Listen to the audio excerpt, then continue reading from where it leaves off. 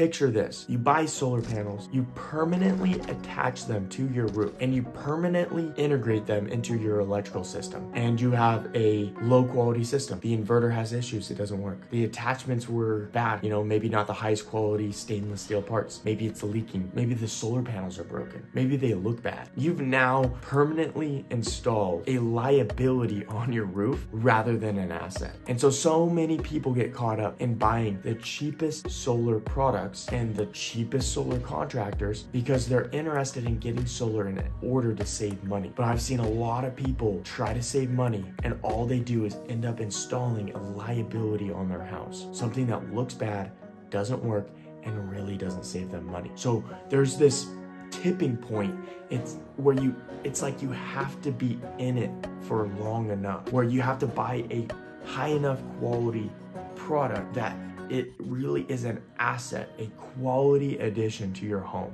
that increases the value that provides a service that works is reliable but it's to cost you money. So you really have to be like i'm i'm investing the money. I'm not going to see a return right away. It's not going to save me money right away.